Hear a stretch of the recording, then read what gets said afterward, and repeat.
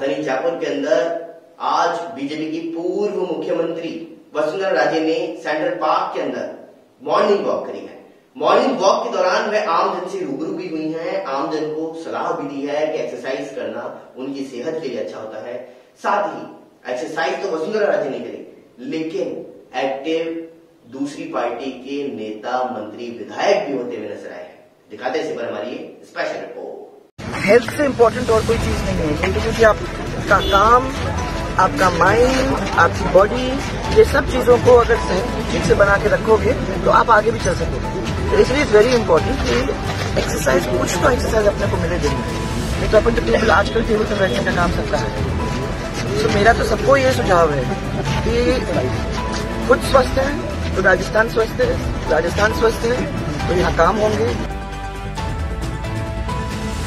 फ़िलहाल देश दुनिया की तमाम बड़ी खबरों के लिए इतना ही बने रहिए न्यूज़ आइटीन के साथ। नमस्कार।